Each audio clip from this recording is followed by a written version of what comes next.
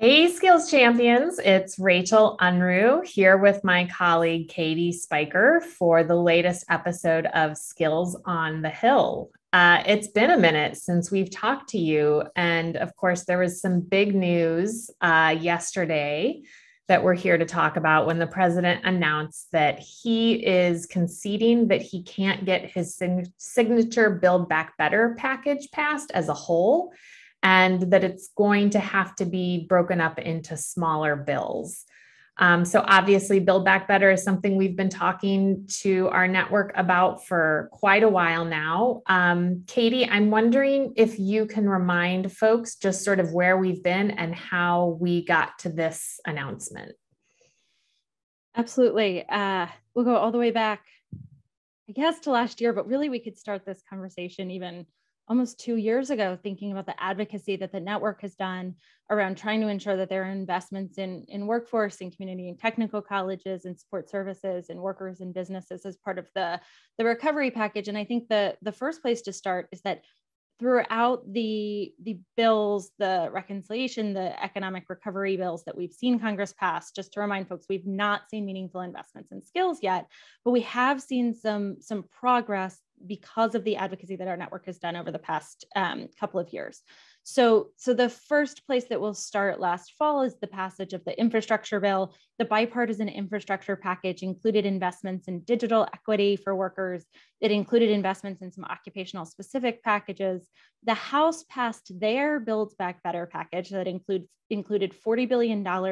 in workforce funding and funding for sector based training, um, for uh, retention for community college students. That package excluded the pieces around community college tuition assistance and free community college for students that were a mainstay for the, the Biden administration in some of their campaigns and their negotiations. Um, but it did include that, that $40 billion investment in workforce. Since then, the action turned to the Senate, and we've seen some of the more moderate senators, including Senator Manchin and Senator Sinema, really be some of the holdouts to actually uh, moving through and coming to a cohesive agreement among Senate Democrats about what could be part of a package um, that, that the Dems could pass through the process called reconciliation. Um, now, as you mentioned, there was a um, an announcement from the White House and, and really a recognition of where the uh, administration and Democrats in Congress are in trying to pass this next stimulus package, um, recognizing again, in some ways this is new because of the recognition, this recognition or uh, um, proposal or claim that they're going to divide up the pieces of Build Back Better. Um, in other ways, it's a recognition of the same conversation that we've been having for at least a month now, about the fact that there is not support among all of the the Dems that would need to vote for this package that the bill passed by the House um, is is the right way to move forward. So, um, you know, I think that we're now in for a new round of uh, negotiations, some of which is going to build on what we've uh, and what Congress worked on over the past couple of months, and some of which is going to stir up new conversations. Great. So that's how we got here and we are where we are. So, uh, what does this mean in terms of the prospect for additional investments uh, in people that we know were so important to that comprehensive Build Back Better package and that, you know, are really essential uh, companions to that infrastructure bill that was passed last year? The, so the infrastructure bill is really one of the key points here that and that's really one of the pieces that i think has changed um, from the last time that our network did a big push on some of the advocacy last fall. Last fall. So now there are resources, um, both that some of the um, Department of Transportation, Department of Energy will be releasing around support for workers for uh, training in those industries as well as a focus on these digital skills that the Department of Commerce will be releasing. And at the same time, states are struggling to make sure that they're aligning the expenditure of some of the funds that they've got to align with the projects that will be funded under the infrastructure bill that does not have investments in worker skills as part of it. Um, and so and so that's really the the new focus that I think we can have on the fact um, and that Congress needs to be reminded of in some of our advocacy that we need to see these additional investments that were passed as part of the House's package in workforce um, in order to address both the issues that we've seen for workers' need for skills and businesses' need for skilled workers throughout the pandemic, as well as now in order to actually enable people to access the jobs created by the infrastructure package. The other thing when you mention additional funding is the, the House passed version of the Build Back Better Act did not include the free community college provisions that we've talked about as critical for expanding both students' access to jobs and training for jobs for which businesses are hiring and community college capacity to deliver some of these training programs and to, to align with the, the workforce investments. Um, and there's the possibility as the conversations open up that, that the conversations uh, that Congress and the administration are having, um, they, they return to some of the, uh, the ability to try to invest in the $40 billion for workforce um, and then potentially some for for community colleges um, and and that free community college as well. But I think the the um, that might be a little too enthusiastic because the the real the real thing that we're facing here is it's going to be a difficult and uphill um, advocacy uh, next couple of months in order to protect the investments that Congress has proposed to make in workforce and community and technical colleges, that $40 billion.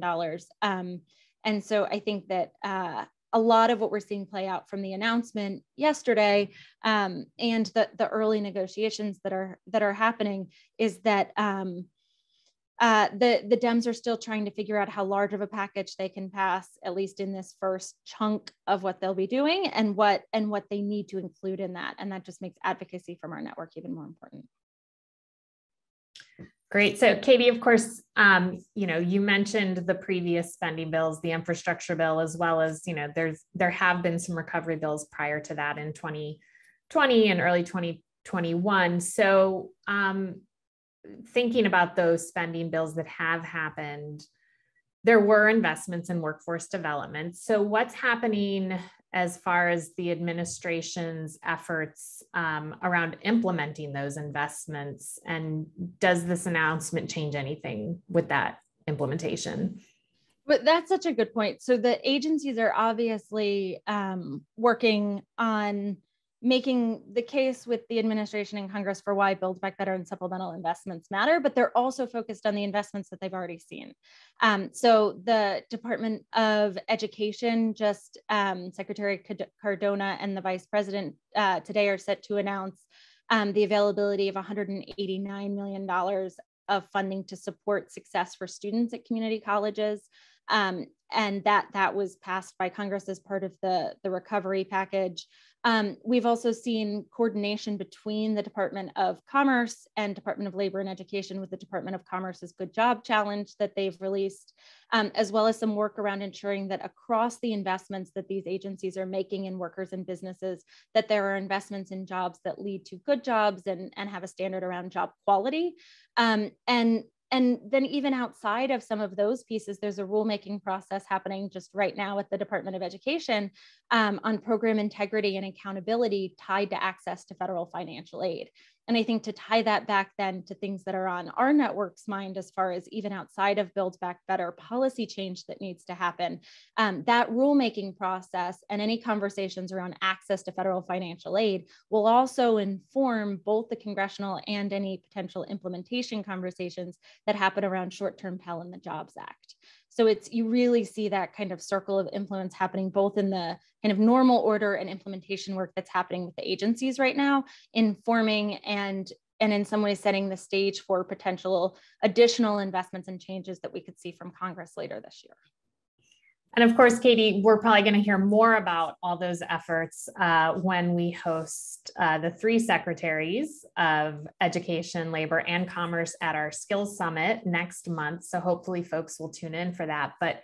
while we're speaking of the summit, let's just talk more generally about given where we are, um, what's important for advocates in our network to be doing over the coming weeks and to be thinking about in terms of influencing what's happening, both in terms of implementation of existing resources, but also advocating for these additional.